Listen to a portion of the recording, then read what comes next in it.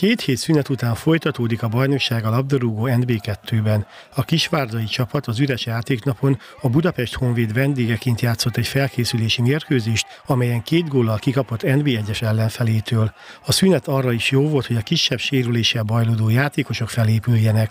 A Grosics Akadémia elleni mérkőzés előtt így kellemes gondjai vannak Révész Attila szakmai igazgatónak, mivel nagy a harc a kezdőcsapatba kerülésért. Azok a játékosok, akik most versenyeznek egymással, jobb teljesítményt is nyújtanak, hozzáteszem. Ráadásul a csapatnak a hangulatán sem érződik az, hogyha valaki kikerül a csapatból, és nem borút látok rajta, hanem bizonyítási vágyat. Az edzéseken is nagyon-nagyon mennek. Én nagyon örülök és büszke vagyok most a csapatra. Olyan arcát mutatta meg, amely régóta várt már a szakmai sáb, és most minden edzést élvezett tartani, minden edzésen élvezet ott lenni, és úgy érzem a játékosok is hajlandóak változtatni a korábban magyaros kényelmességgel fűszerezett hozzáállásukon. Természetesen azért nem mindenki volt ilyen, viszont most valóban minden edzésre úgy megyünk oda, hogy na, legalább már ott lennénk.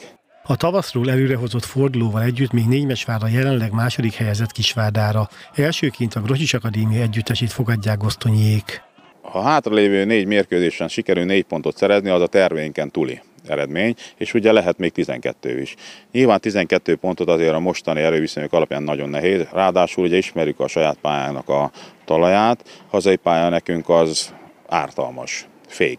Sokkal kevesebb pontot szerzünk otthon, köszönhető annak, hogy idegenben lényegesen jobb területek vannak, és sokkal jobban tudunk rajta passzolni, mint a hazai feláldott görcsös pályánkon és hát ugye most játszunk ott a Szegeddel, a Balmazdal és a Doroggal. Ráadásul hazai pályán minden csapat beáll ellenünk, beássa magát a 16-os környékére, és sokkal nehezebb őket feltörni, de a két mérkőzés sikerülne nyerni, akkor én azt felteszem a kezem, azt mondtam, hogy sokkal többek vagyunk, és ezzel elégedettek lehetünk. A Kisvárda Mastergood Grosics Akadémia mérkőzés vasárnap 13 órakor kezdődik a Várkerti pályán, a Kölcsé Televízió nézői pedig hétfőn 21 órától láthatják a találkozót. A forduló további párosítása a következő Szolnok Balmazújváros, Soroksár Budaörs, Cigán Mosonmagyaróvár, Szeged Siófok, Békés Csaba Nyíregyháza Spartakusz, Csákvár Zalaegerszeg, Sopron Dorog, Puskás Akadémia Cegléd és Kozár Misleny Vác.